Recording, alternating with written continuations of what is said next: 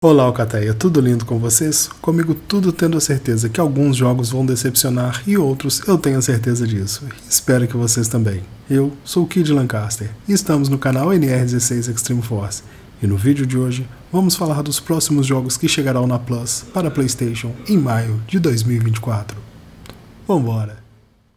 Demorou, mas chegou. O momento de apresentar os jogos para a Plus Essential de maio de 2024. Os jogos serão liberados para baixar no dia 7 de maio, e nesse mês teremos Aventura, Futebol, Mais Aventura e Souls Like Fofinho. Começando com FIFA 2024, ou melhor, após a mudança de nome para EA Sports Futebol Clube 2024, tanto para Play 4 e Play 5. O jogo de futebol com mais de 19 mil licenças oficiais, a maior quantidade de equipes e estatísticas suportadas até o momento. As atualizações incrementais que melhoram o jogo, mecânica e aparência estão aqui com Hypermotion, um sistema desenvolvido pela EA. E é claramente o mais próximo de um futebol que um jogo pode chegar, até o próximo jogo de futebol chegar.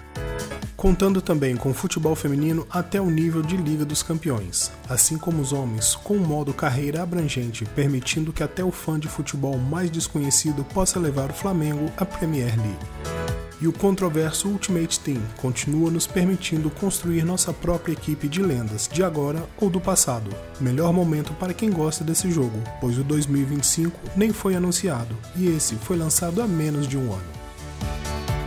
Agora com Ghost Runner 2 apenas para o Play 5. Esse jogo mistura parkour e FPS e vai exigir que seus reflexos estejam mais afiados que sua katana um soul-like de ninja futurístico pós-apocalíptico com uma regra básica: vacilou, morreu. O que significa que você morrerá várias e várias vezes, mas isso, não se preocupe, pois reaparecerá na mesma sala, e cada vez vai aprender um pouco mais sobre a última batalha que enfrentou. Você é um ninja cibernético, com uma katana na mão e o poder de destruir salas inteiras de bandidos em segundos. No primeiro jogo, ficamos sabendo quem nós éramos e escapamos da Torre Maldita. E agora, a inteligência artificial que domina esse mundo está tentando assumir essa versão da realidade. Com evolução da estrutura de missão desde o primeiro jogo, com novas habilidades para dominar e alguns níveis não lineares, e claro, uma moto bonitona para andar pela cidade.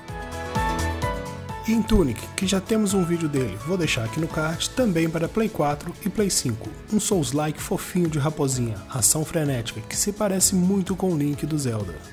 Nosso trabalho nesse jogo é libertar um espírito ansioso de uma raposa, preso em um cristal, explorando o mundo e depois lendo o manual. E falando assim, pode até parecer chato, mas é bem interessante. Pois a forma como é construído é brilhante, pistas estão em todo lugar, novas mecânicas podem ser encontradas mudando a câmera do modo que você joga. E o melhor, todas as coisas estão escondidas e, algumas vezes, bem debaixo do seu nariz. O combate torna-se cada vez mais técnicos, com inimigos gigantes e espertos, que às vezes uma esquiva perfeita resolve.